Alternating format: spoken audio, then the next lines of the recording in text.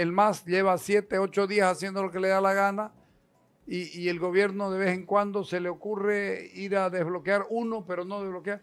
Ya hay como 14 bloqueos en el país. Sí. Y eso es porque van a seguir aumentando porque el gobierno no funciona, no está el gobierno.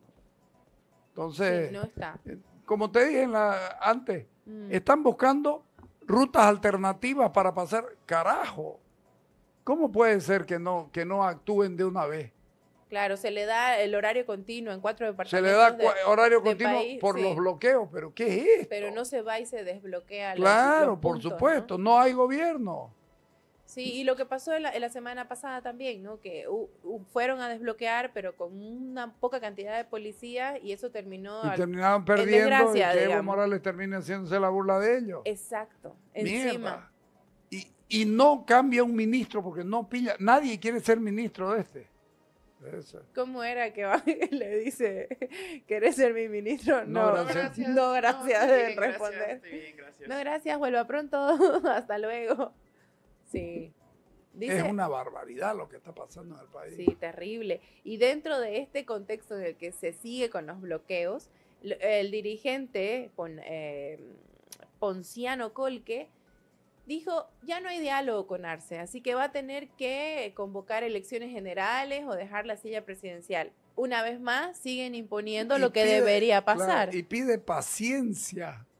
Mierda, qué cosa bárbara. Le quieren echar la culpa al otro. ¿Pero qué quiere dialogar? ¿Qué, qué hay que dialogar? Nada.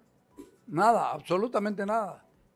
No, porque al Pero ahí final... están, pues, ahí Aquí, están. aquí vamos con lo, con lo de Evo Morales, también lo que dijo esta semana, que dijo que ni fue, ni que él fuera tonto para entregarse. O sea, están imponiendo, piden paciencia a los transportistas porque No, pero además se hace la burla de todo. y Porque lo que él tiene que hacer es, en- es ir, no es ir a entregarse. Ayer lo escuché, anteayer lo escuché al niño ministro con algo que yo vengo diciendo hace una semana.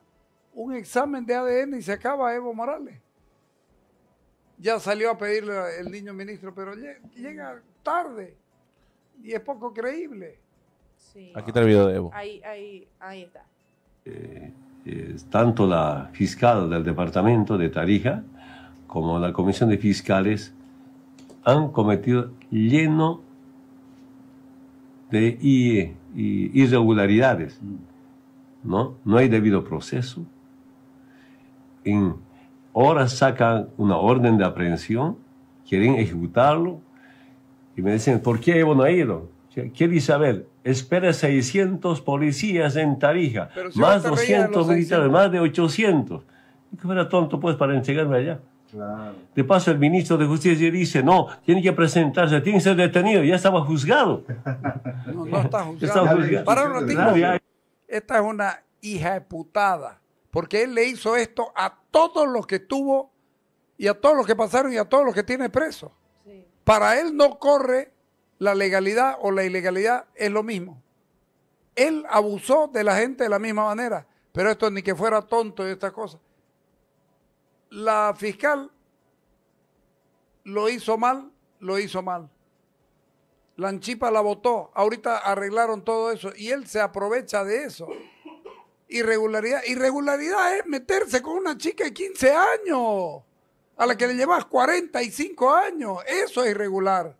Es violar a una chica y está, ha violado a 10, está acusado de violar a 10 por lo menos.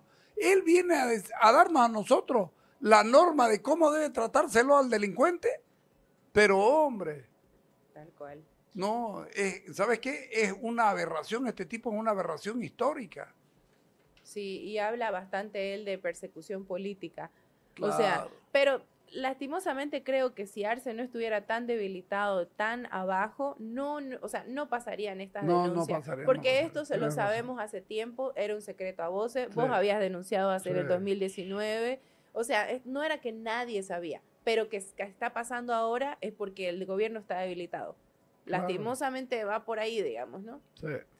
Pero bueno, sigamos Pero ¿y qué pasaría si, si Evo fuera? O sea, esto lo está citando a qué? ¿A declarar? allá? A declarar. Él tiene que declarar, pero... Pero podría pasar que ¿sabes? de ese rato lo, lo agarren de manera legal, no. Lo Sí, lo puede, puede que por los indicios este, lo detengan provisionalmente. Ya. como lo han hecho con, con los que siguen presos Como hasta otros ahora. presos políticos. Él Sí. ha abusado de todo el mundo. Pero eh, él tiene este, es- este delito que sí cometió y sí hay pruebas, digamos, claro, ¿no? por supuesto, hay pruebas. Y que hasta ahora esta Y yo- persona sigue yo creo desaparecida que- también. Yo creo que él la tiene retenida a la, a la chica Saraí. Eh, eh, el- A la señorita ahora, ¿no? porque ya señorita ya Mm. tiene veintitantos años. Evo Morales, ¿no? Sí, Y a la hija sí. también. Y no hubo más repercusión. No, a nadie audio, le ¿no? importó, el gobierno se cayó la boca. ¿Sabes qué? Se me antoja que el socialismo del siglo XXI le debe haber dicho a Arce, no lo apretés tanto porque si vos no funcionás vamos a tener que ponerlo a él. Triste, ¿no? Sí. Triste suena eso, la verdad. Pero, y si no, ¿por qué no actúa? ¿Por qué la autoridad no es autoridad? ¿Por qué la autoridad no es autoridad? ¿Por qué Evo Morales se da el gusto de hacer lo que le dé la gana y el gobierno no actúa contra él? Porque no actúa contra él. Y sigue dando Claro, entrevistas. Sigue dando entre- Bueno, pero es allá en, su en- canal. su Claro. todo. no, no, es en su, en su territorio Sí. independiente. Evo es pueblo, líder de los humildes. Así se Ya llama. cambió, ¿no? Ese No, es negro, negro, líder Líder de los humildes. Claro, de los sí. humildes bluministas. Sí. Líder del chat. líder del chat. de lo- del chat humilde. Se- ¿Seguimos escuchándolo o, no sé? Ten- ya? ¿Tenía algo más que decir o no? La detención. Y además es totalmente, ilegalmente procesado todo ese orden de aprehensión. Eso era. Bueno, haciéndose la burla al final. Ilegalmente. Él habla de ilegalidades. Diez años los tuvo a los, a los del Hotel Las Américas. Él lo inventó. Él, su grupo de él lo trajeron a Rosa. Ellos lo trajeron. Ellos armaron todo. Pagó la embajada venezolana. Todo eso lo hizo. Él lo hizo. Él mató gente. Él hizo todo. Con orden de él se mató y nadie dice nada. Por eso digo que algún día, bueno, mi- mi- mis libros, le, de acuerdo a un señor que, que me, que, con, el que, con el que he hablado, me dice, lo único que va a quedar de testimonio eh, del- de, una era van a ser mis libros. Sí, ¿no? Porque O sea, ellos lo taparon algún, todo. algún mérito va a tener esos libros. De hecho, sí. No, no es un cabeza hueca, discúlpeme, será un inculto, un ignorante absolutamente en un montón de cosas, pero no es un cabeza hueca. No, no puede ser cabeza hueca un tipo que, que se pasa 20, 25 años manipulando a la opinión pública y haciendo lo que le dé la gana.